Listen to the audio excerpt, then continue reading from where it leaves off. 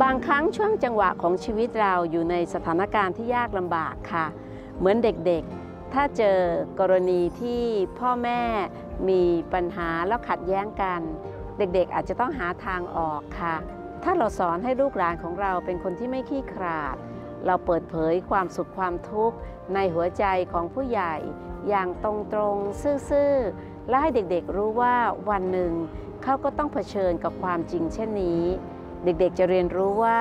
การแก้ปัญหากลับกลายเป็นปัญญา และทำให้มองเห็นว่าปัญหาเป็นความสำเร็จของชีวิตนะคะ อย่าปล่อยให้เด็กๆของเราเหงาเกินไป เพราะใจของผู้ใหญ่ขี้ขลาดที่ไม่ยอมพูดความจริงค่ะ